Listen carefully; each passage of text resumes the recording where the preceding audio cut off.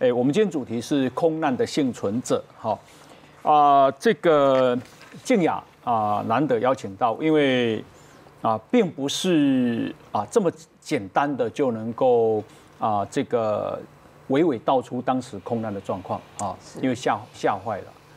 那可是啊，留下他的一些记忆，其实啊是有帮助的哈。那比方说当时空难的。啊，要失事之前的状况，那么在啊这个空难的整个过程中，他到底想看到了什么？另外就是啊这个直到坠机之后，那啊抢救的过程，还有他整个心理哈要如何的重建复原的过程，其实是很辛苦的。所以我们今天啊是非常高兴啊，也非常啊这个啊静雅这样勇敢的站出来哈，感谢你。好，那么。啊，我想大家对于二零一五年的啊这个复兴航空的空难啊啊，大家应该是都还有印象，对不对？哈，那我可不可以先请教一下玉峰，跟大家啊讲述这一段这个过新闻？好，那过去那个几年了，其实复兴航空啊常常发生一些意外，但是这一件呢是发生在台北，发生在台北那个时候啊，我还记得二零一五年二月初那个时候啊，我那天是休假，因为其实我已经当媒体的小主管了，我平常是不用出门的，我那天休假，然后呢，我穿了一双全白的 Hyper Dunk 的一个限定款，我要准备去中研院打篮球，结果呢，骑着摩托车骑骑骑骑，就听到同事来回报。叫我听一下无线电，那我听无线电就听到说有飞机掉到河里。那当下我第一个时间想到的是，因为有一些人会玩那种滑翔翼或是那种无人的小飞机，我想说你们先看一下，如果是没有人受伤的话，那就派 SNG 车去现场就好。后来呢，我在骑车过程，那个手机就一直响，一直响，一直响。他说有人。飞机上有人，要赶快赶往现场。那当时候我想到的有人，还以为是会不会是那种小型的飞机。其实新北市金山湾里那边很多人在开那种玩那种小飞机，自己买了个小直升机哦，就双人坐的。我说啊，可能怎么会跑到这个地方来？因为有松山机松山机场这个航线，怎么可能开到那边去？那我那时候其实一左转就进到了失事的现场。我就从水门进去，因为我那个地方太熟了，我要往中研院。其实还没到的时候，我左转就是进到了这个水门。我看到的时候，我真的吓傻了。飞那个，你看基隆河不大，这么大的宽的一个河道里面哦，插了一台飞机，然后飞机是 V 字形的，就是中间已经凹下去了。然后我想说，怎么会这样？然后旁边还有人在运动，大家都吓傻了。然后包括一些乘客，慢慢的从水里面出来。那有一部分我们看到的时候，他是站在记忆上面，可是，在当下大家都不知道该怎么办，因为其实包括机组员，然后包括乘客，应该是有五十八个人，最后往生的四十三个人，所以呢，只有十五个人是幸运生存下来。嗯，在当下哦，其实你很多的救难机具已经慢慢的从水门外面进来了，好，更大型的是进不来，因为水门它有一个高度跟一个宽度嘛。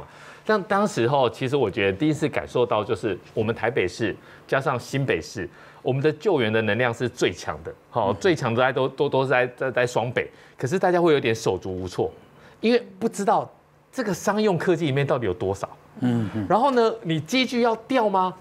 哇，如果掉下来里面有人是受伤的话，那你你的一些状况怎么办？然后呢，其实海上就是河面上面已经有快艇了，那快艇要过去吗？嗯，其实那时候我觉得大概那个半个小时哈，大家真的是你会知道说呢，呃，人真的是很渺小。救援其实是没那么容易的，因为啊事情发生的非常的意外哈。那我们如果这个再回想这个画面，大家应该就记忆深刻了哦。这个就是那架啊即将失事的这个复兴的飞机。那它下来的时候，这这边我记得应该是台台北市南港呀。对，这是南港，然后这是环东大道。环东大道。那刚好有一辆计程车，这个机翼啊。有去撞到这一辆自行车，对对不对？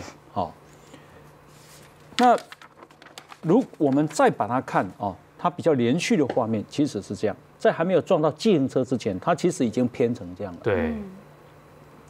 那这是后来他撞到自行车，然后又去撞，好像有撞到护栏，是不是？消过去的。消过去了啊，消过去，这是飞机，然后后来就掉下去了。好，那这个新闻呢，其实是世界性的新闻。啊啊，在台湾当然是头条新闻。好啊，这个竞争啊，后来啊被削到。如果你拍画后面，其实你会看不出来是有什么受伤。事实上，前面被机翼削到，其实也这个等同全毁了啦。对，那等一下这个司机的状况啊，我们再来跟大家追踪啊。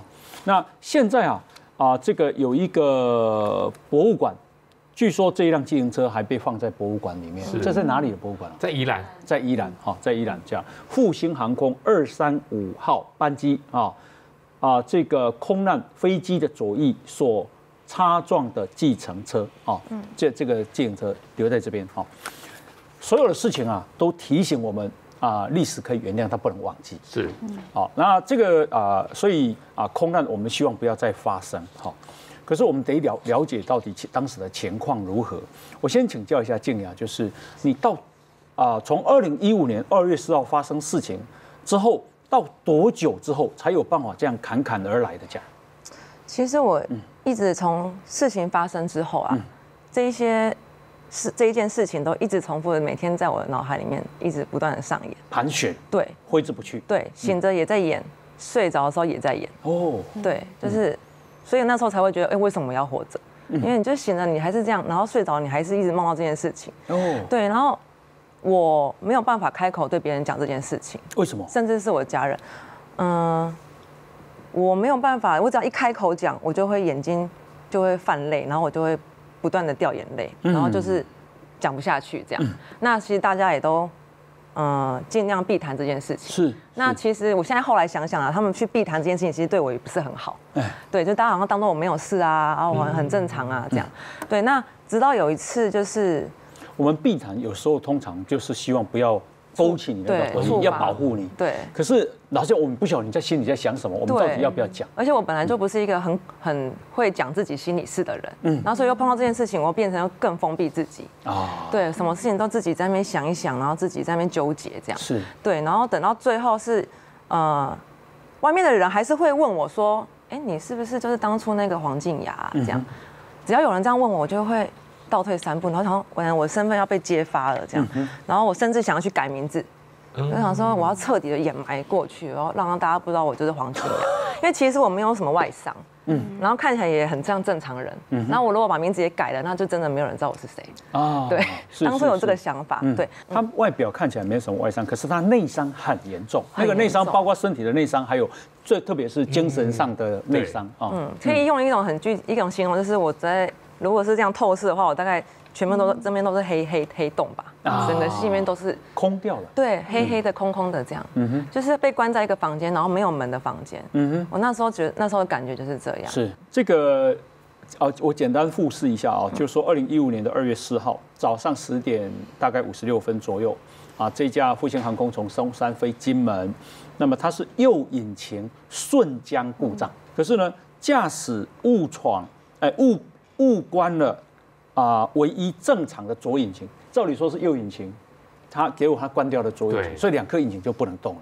对，所以那时候那就失去动力，最后是冲入了基隆基隆河的南港段啊。那这是 ATR 七十二六百型。嗯，新闻哇哇有 YouTube 频道喽，请大家搜寻新闻哇哇哇，或者扫描 QR code。也可以啊，按下订阅钮，开启小铃铛，请大家继续分享。